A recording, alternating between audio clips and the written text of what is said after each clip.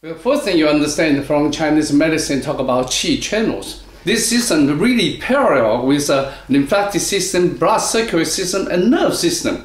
That's why a lot of people get confused. Is oh, the system is the, the nerve system. In Chinese talk about qi system. No, it's not. Because qi is the energy, but the other is the material. When we talk about meridian qigong stimulations, there are two ways. One is from external in, that's called Wai Dan. The other one is from internal out. We're going to have probably half an hour theories. Most of the time we practicing. Will you be able to understand what the qi system? Because the qi is the foundation of everything material's life.